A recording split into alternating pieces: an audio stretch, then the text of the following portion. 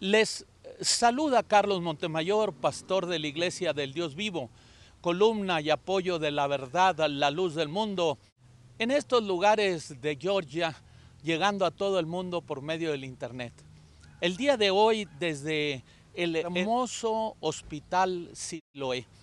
Y es extraño que un paciente que estuvo 10 días internado le llame a un hospital hermoso.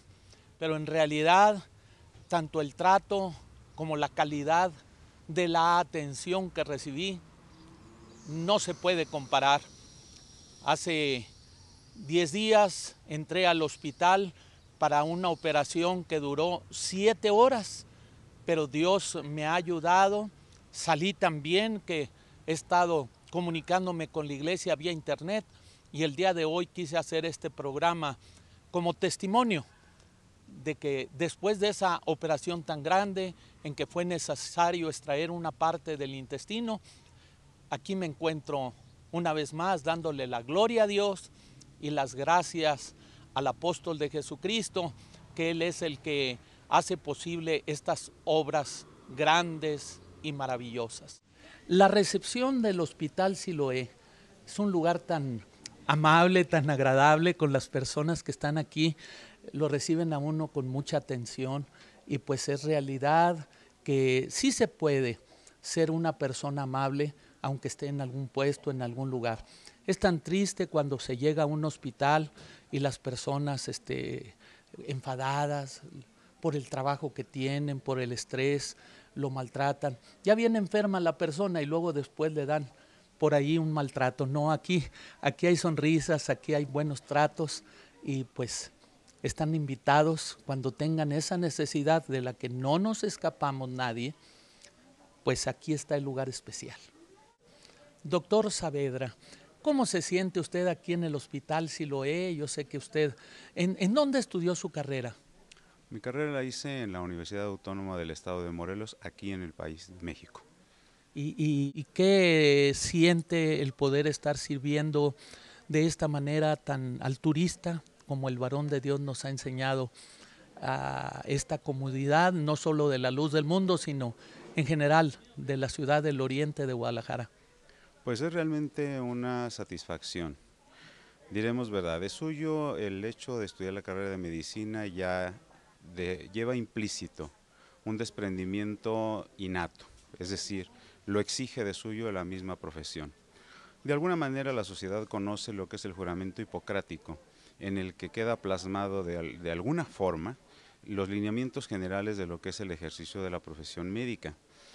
En este sentido, una vez que gozamos de la bendición de Dios de ser llamados para formar parte del pueblo más hermoso que hay sobre la faz de la tierra, que es la iglesia, la luz del mundo, y gozar del eminente liderazgo del apóstol de Jesucristo, nuestro hermano Samuel Joaquín Flores, es para nosotros el culmen de nuestra preparación y de nuestro servicio.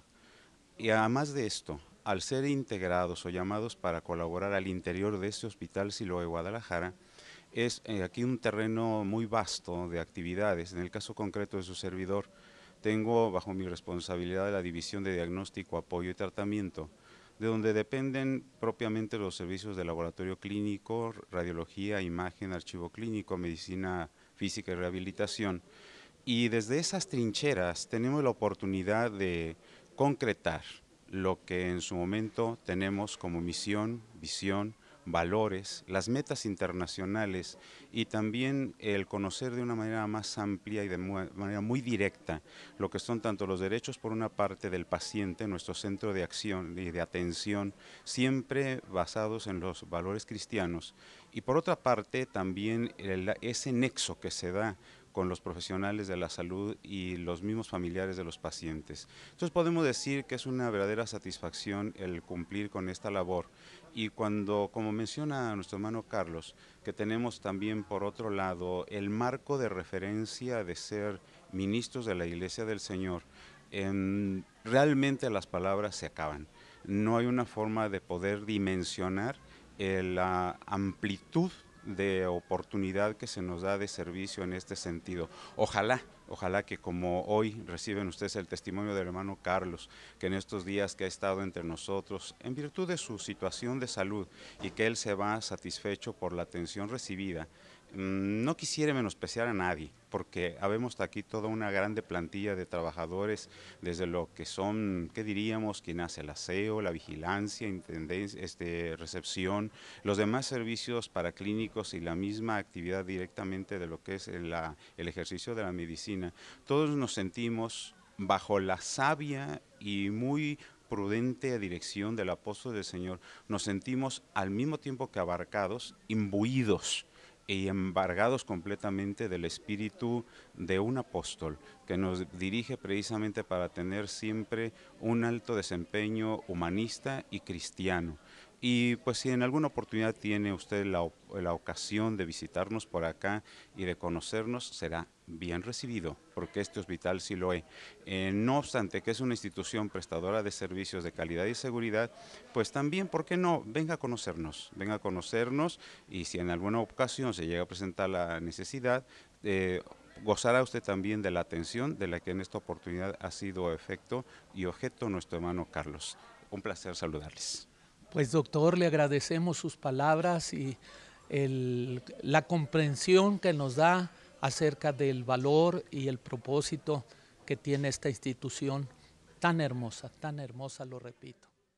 En un espacio muy ecológico, muy bonito, se encuentra el Hospital Siloé, unas instalaciones de primer mundo, muy, muy bien equipadas, eh, y sobre todo el personal, un personal muy atento y que en realidad yo me sentí obligado.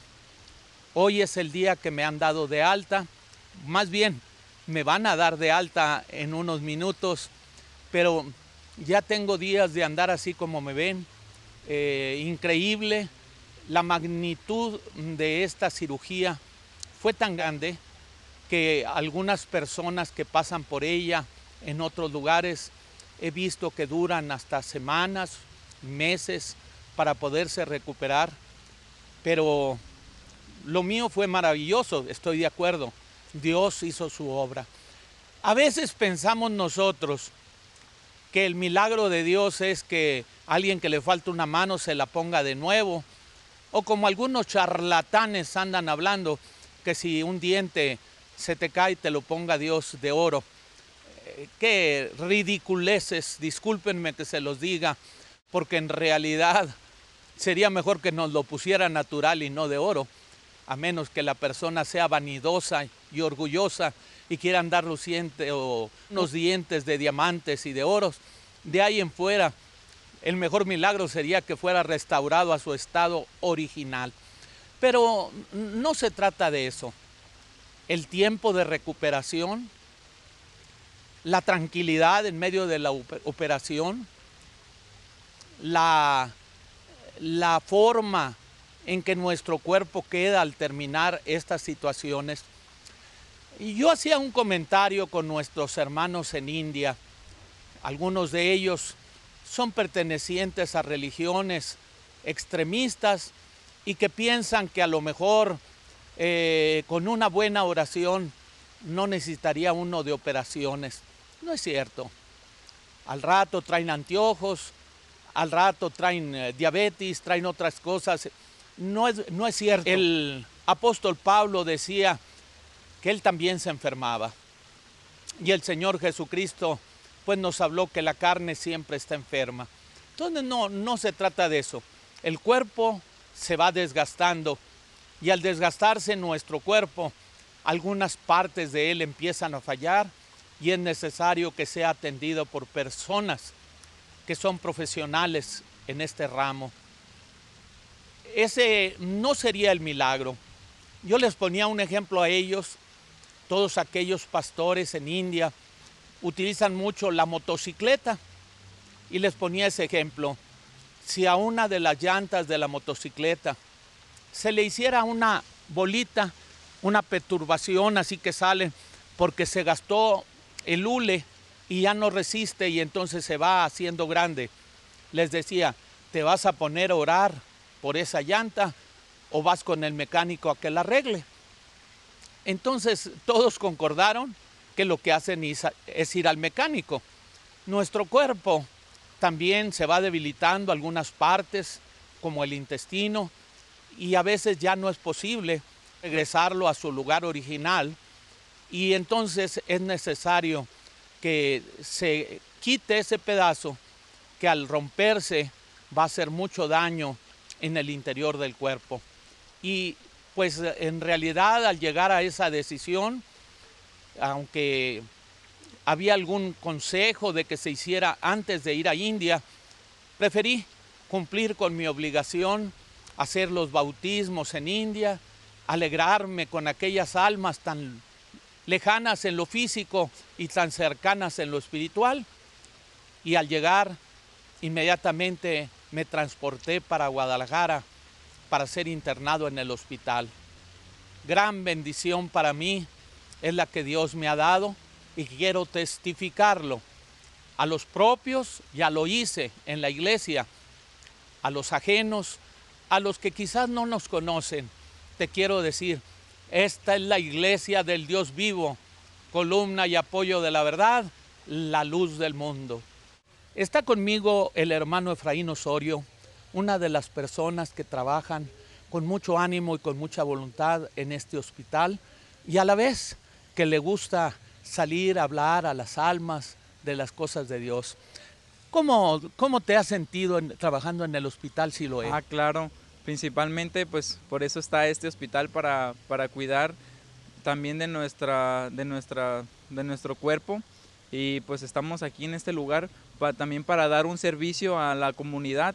Era una operación que ciertamente era muy grave y dijeron que hasta lo iban a dejar internado casi un mes o más de un mes. Ciertamente se ve la, la gracia de nuestro Dios que ha dado frutos, porque ahorita lo veo fuerte y fortalecido y no ha pasado ni siquiera medio mes, no han pasado ni 15 días y el Señor lo ha tenido con fuerza.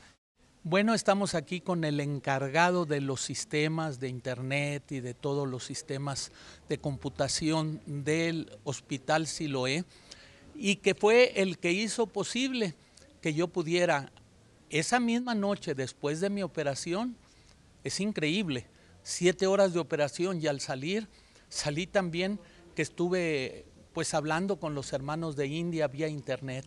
Todo esto se debe, pues aquí está Uciel. Sí, pues yo estoy de auxiliar en, lo que es el área de sistemas. Ahí manejamos lo que es este el servicio de telefonía, internet y en sí lo que es toda la red de, computación del hospital. Yo les garantizo que en la mayor parte de los hospitales, aún en Estados Unidos, no hay todavía el servicio de inalámbrico en el cuarto, libremente así, que el paciente pueda utilizarlo. Así es que salí a esas horas, a las 11 de la noche, y por medio de mi iPad pude estarme comunicando al día siguiente con la iglesia, he estado al pendiente.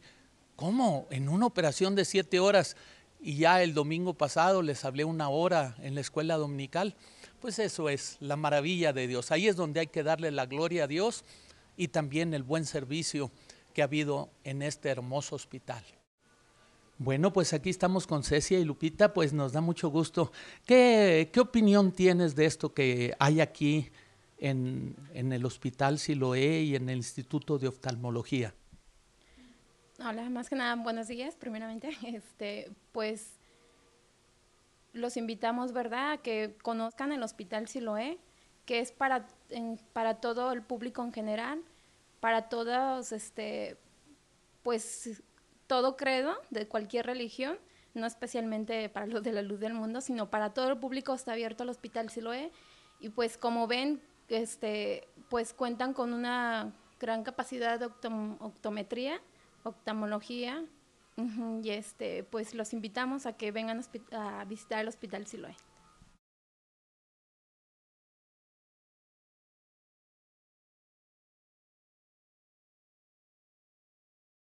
Emergencias.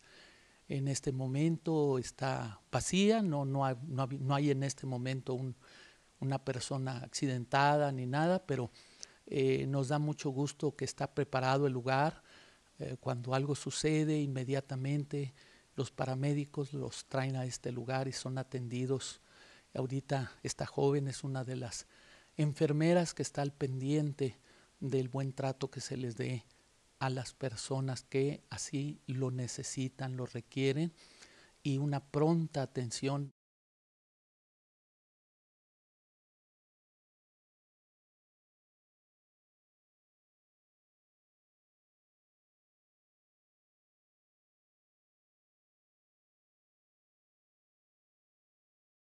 Fue el 6 de agosto del el año 2007 en que el apóstol de Jesucristo completó la obra de construcción y se dio por inaugurado este lugar.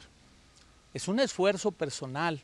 Yo quiero decirles que aunque algunos hermanos de la iglesia apoyaron con mano de obra el esfuerzo, que a veces dicen, bueno, y una persona que está como líder de una iglesia tan grande, ¿qué hace si hay algún recurso financiero en él? Es dedicarlo a las cosas de Dios y a las necesidades de los demás. Esa ha sido la vida del apóstol de Jesucristo.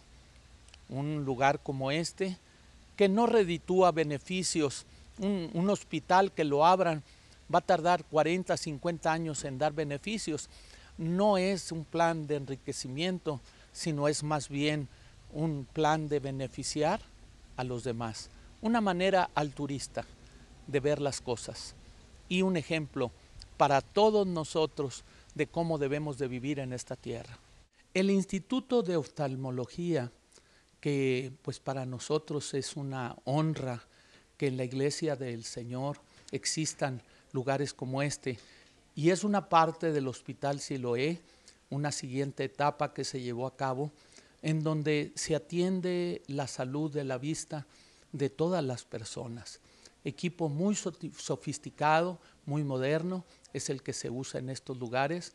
Y pues todo esto nos llena a nosotros de satisfacción y de gratitud hacia este benefactor que es el apóstol de Jesucristo. En el Evangelio de Jesucristo no está prohibido ni las fotografías que se tienen de toda nuestra familia como identificación en nuestras carteras, ni alguna escultura que se tiene de directores de plantas eh, escolares, de universidades, de personajes que formaron alguna situación en la patria, no está prohibido.